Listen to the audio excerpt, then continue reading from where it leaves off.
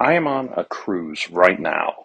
And as you know, I'm an economist, can't stop thinking about these things. So, this video, we're going to talk about 10 ways that cruise lines do what economists call price discriminate, which is figure out different ways to charge customers different amounts of prices so that different customers pay different prices for the same thing. We're going to do some touring around the ship while I talk through this. I found a nice little nook that's kind of quiet on this uh, Wednesday morning to talk through. So price discrimination for cruise ships is incredibly valuable because if they had to charge one price for all customers, they could either try to target the higher end customers or those with who are more price sensitive, those who are going to budget a lower amount towards cruising. But by being able to charge different prices to each customer based on their willingness to pay, cruise lines can make a little bit more money. Uh, you know, these are public companies, right? The shareholders are investing in them in order to make profits. And from a functionality standpoint, cruise lines just went through COVID. They're trying to get back to profitability right now, so figuring out the ways to do that, it's pretty crucial.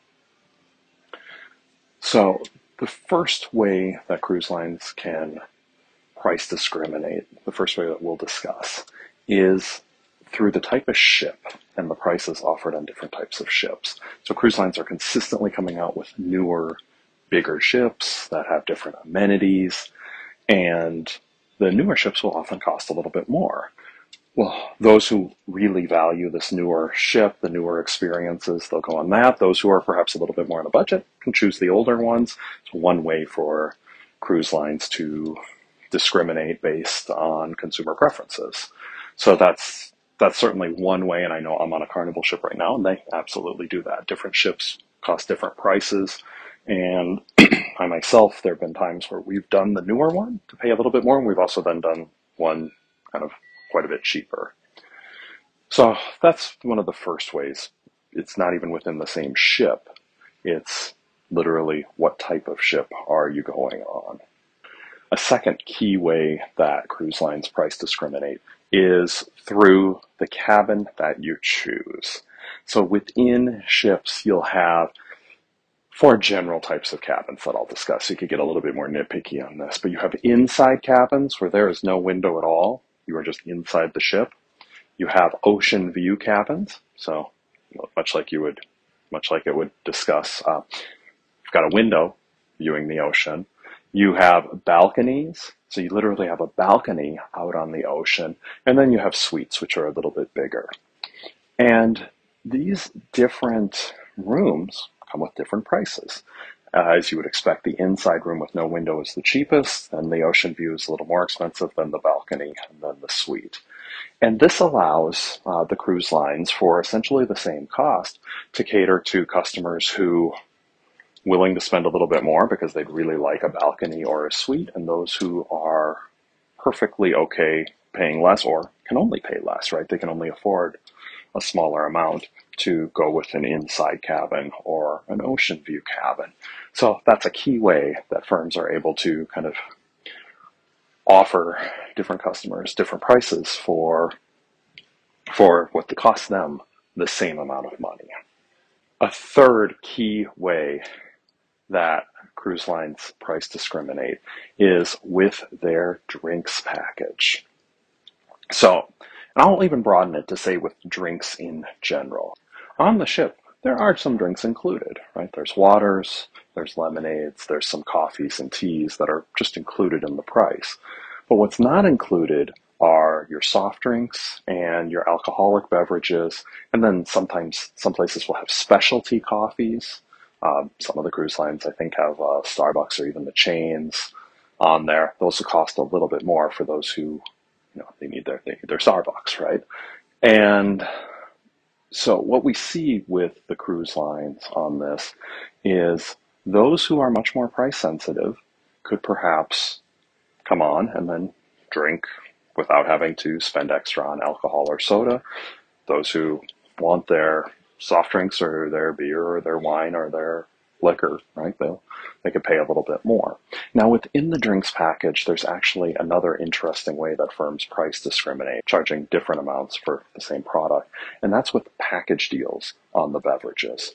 Uh, cruise lines will offer package deals where if you pay ahead of time, you could say get unlimited sodas for some price or unlimited alcoholic beverages for some much larger price.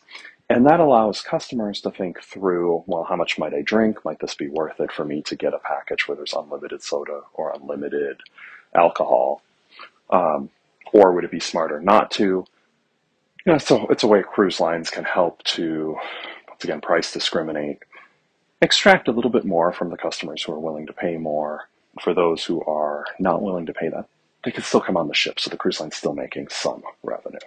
Fourth way that cruise lines price discriminate is with their shore excursions. So when you book a cruise, often part of the reason I've liked cruising, one, it's, it's incredibly fun, but it's also reasonably affordable if you're if you're looking around a little bit. Um, I mean, for a family, you get your accommodations and your meals included with some entertainment, all for one price, which is can be really affordable. Uh, the shore excursions can actually be really expensive. They can add on quite a bit. So cruise cruises will go to different ports. This the cruise I'm on. It's a, it's a four night and it goes to Key West. We went there yesterday, and today we're going to Cozumel sometimes the shore excursions can literally add, you know, a hundred dollars or more for each port you go to if you want to engage in these various excursions. Some of the cruises can, I mean, literally be three, four, five hundred dollars for the price of the cruise, and you could spend as much on shore excursions if you were so inclined. And this is a key way that cruise lines can price discriminate. Those who are a little bit more price sensitive, um, maybe they book the cruise, they don't do the, the shore excursions. So maybe those who are a little bit more price sensitive, they book the cruise, but they don't do shore excursion. Those who the price isn't as big of a factor, they they could go ahead and do both. The cruise lines can get the revenue from both sets of customers, ensuring those with tighter budgets are still cruising, and those who have the money and want to do the excursions can just go ahead and do the shore excursions, pay for them. The cruise line gets the additional revenue from the shore excursions. Number five way, cruise lines charge different prices to different customers. It's with the specialty restaurants. So specialty dining is an interesting concept on the cruise ship. So all cruise ships have a main dining room. The main dining room, my opinion, is pretty fantastic. I mean, it's pretty elegant and fancy, and the food is pretty good. But then there are also specialty restaurants where you can spend an additional amount, and different cruise lines will have different types of specialty restaurants. Most of them will have a steakhouse, some would have a seafood place. I've been on Norwegian cruises where they had a French restaurant and an Italian restaurant, and the specialty restaurants are just like that. They're, they specialize in this this various uh, type of food, and if you're willing to pay a little bit more, you can get the specialty restaurant. Many people are not, but many people are. This allows the cruise line to, once again, make some additional revenue from those willing to pay a little bit more on their vacations. A sixth way that cruise lines price discriminate, and really price discrimination defined, it's charging different prices for the exact same product. This is probably the purest or one of the purest forms of price discrimination, and that's seasonal pricing or charging different prices for different days, different dates within the calendar year. So I'm on this, I'm recording this on uh, June 7th. It's a cruise that goes went the 5th through the 9th of June. This cruise is a little bit more expensive than if I'd gone in the really off-peak times, like, you know, January, February, October, November.